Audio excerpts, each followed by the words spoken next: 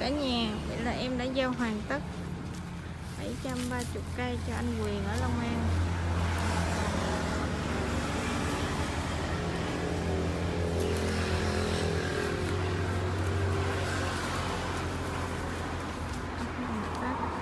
Khách đã nhận hàng.